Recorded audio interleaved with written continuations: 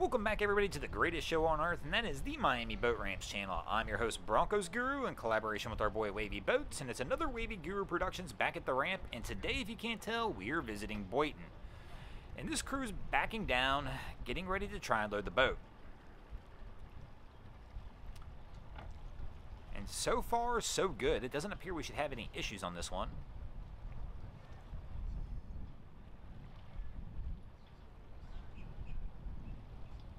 And as soon as I said that, I'm wrong. We've got a tire floating. Was, was that a spare tire? Or did that tire come off the trailer? I don't recall seeing a spare tire sitting anywhere on the trailer where it would have come off the float. They somehow have lost a tire on this trailer. I didn't hear anything crack or bang or break or anything but something definitely happened. I don't know if the trailer was just in that rough a shape and it just came off. Maybe the maybe they were doing some maintenance and didn't tighten the lug nuts. But I can't imagine. I mean, they had to tow this boat down here with the trailer. It has to be something on the ramp. They had to have hit something that was strong enough to knock it off. And our guy notices it and is grabbing it. So this should be a red flag but I don't see any alarms being sounded. Like, in other words, he's not like, hey, don't load the boat, something's wrong. Because obviously, the first thing I would do if I noticed that I was missing a trailer tire is I wouldn't put anything on the trailer. But these, they appear they're going to try and load. He must not think it's his tire.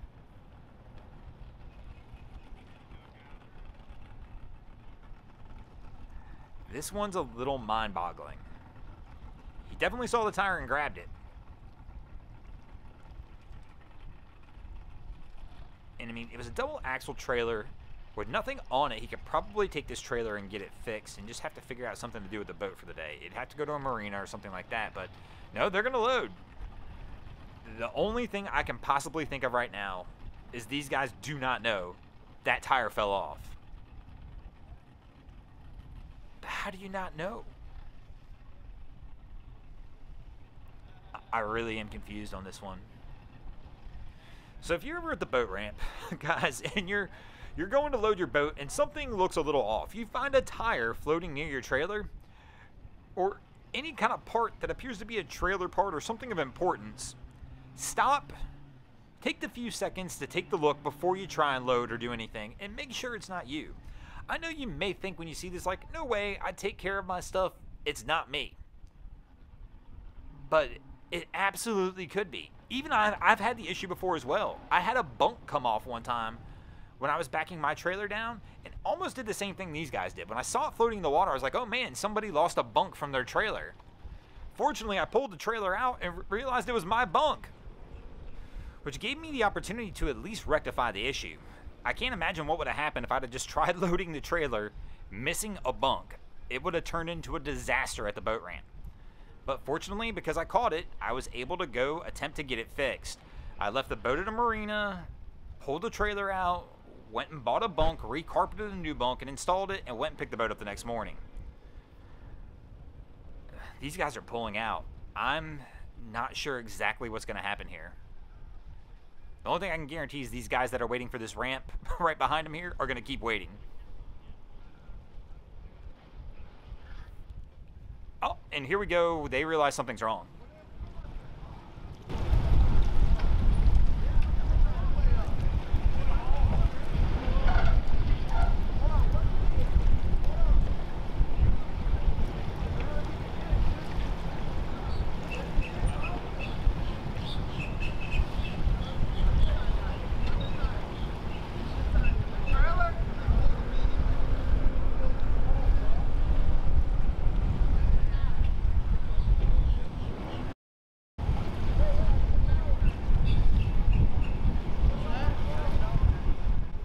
Guys now realize what the issue is, and this sucks.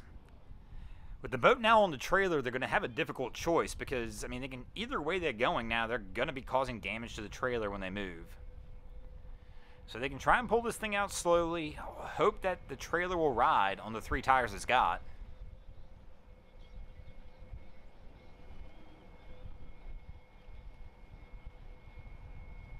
Or they can re-drop this boat and get it off. If it was me, I'd probably gonna be going for that route. I'd probably be trying to get this boat off the trailer.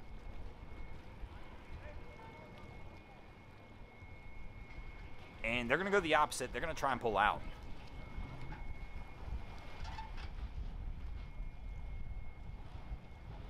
Oh man, you can see, you can see the smoke coming up, and that's from the axle hitting the stone on the ramp.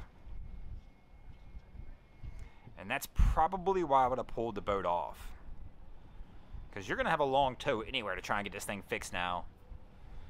Man, this just sucks, I mean. I'll never, I still, as I'm, my story that I was going from earlier, I'll still never forget that day. I mean, you're out on the boat all day. It's a long day. You get back in, everybody's kind of ready to get back in, and all of a sudden something like this happens, and it's going to add hours to your day. And headache and frustration, and when we already know if you've been around this channel long enough, the boat ramp's frustrating already. So when you add more frustration to it, it's, man, it makes a nightmare. I feel bad for these guys.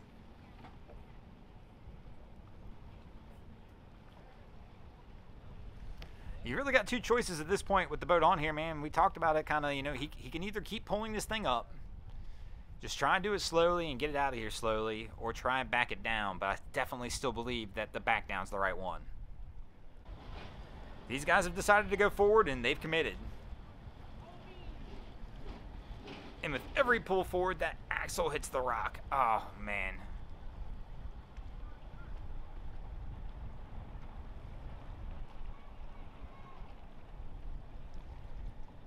and they're going to get it up and over. But the, the tough part, you still got a long way to go now with a boat on this trailer. That's why I definitely would have went the other way if possible. I would have tried backing this thing down, leaving the boat in the water, and then taking the trailer for a repair somewhere. And here we go. We got somebody else trying to pull out, and these guys are struggling. One of the big problems here is how much weight he's got at the back of the boat. Everybody's kind of sitting on the rear of the boat, which is going to add weight to the rear and pull up weight on the tongue, causing him to spin like this. They need to move everybody to the bow of the boat to try and get weight on the tongue or get everybody off the boat. My man's giving her hell. I'm assuming this truck, I mean, it's jacked up. You would figure he would have four-wheel drive. And light bulb, here we go. We're moving everybody forward to get that weight forward. And that will probably make a significant difference in this.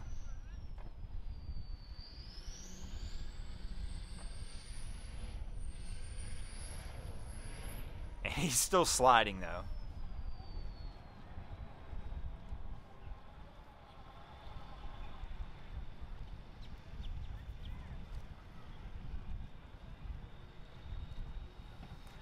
It looks like we're going to back down, try and get a running start to see if we can get this thing out of here.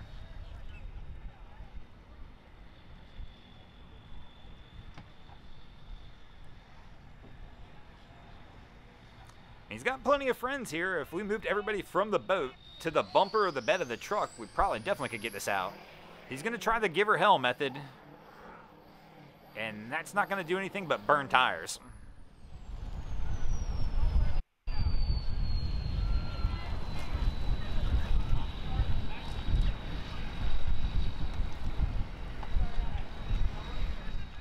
So we're going to back down the ramp, and it looks like go for another running start one more time.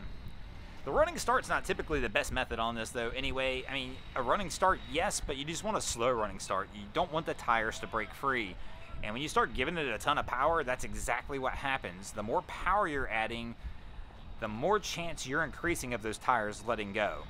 Really, you just want to get moving at a slow pace and keep that slow pace if you can. So here we go. We're going to try it one more time and see what happens. He's going to run it. Giving her hell. And he almost is at the top. Oh, and he's going to get it out. And it looks like this crew is going to be able to get out of here. And speaking of getting out of here, we're going to get out of here as well. Thanks for watching. I hope you enjoyed this episode of Miami Boat Ramps. If you did, please check out our other content. We have Wavy Boats, who does a bunch of great things down at Haulover Inlet. My channel, Broncos Guru, we do some great comedy boating videos over there as well. And of course, we've got Boats versus Haulover, where Man and Machine take on Mother Nature down at Haulover Inlet in Miami, Florida. And if you guys haven't already, go ahead and drop an anchor on the subscribe button here.